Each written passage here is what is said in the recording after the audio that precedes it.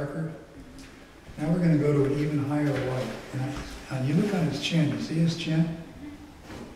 Look at that. Now I can take this, and the, the tip of the nose is very greasy, so it gets a lot of shine.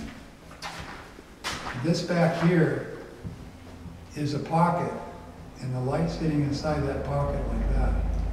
I'm not scrubbing white all over everywhere, I'm only putting it where, where it's the highest, hottest spot.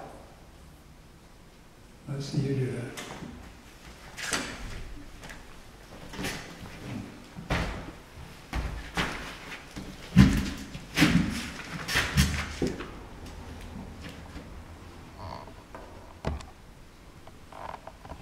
Yep, you want to get in there.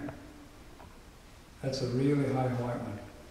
The skin has a lot of grease on it, in some places more than others. Inside the, inside the corner of the eye, right in here, a lot of oil, but a lot of oil out here.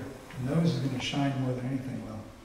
In fact, you can run a, a, spot, you can run a line right down the, the bridge of that nose. Yeah, that's it.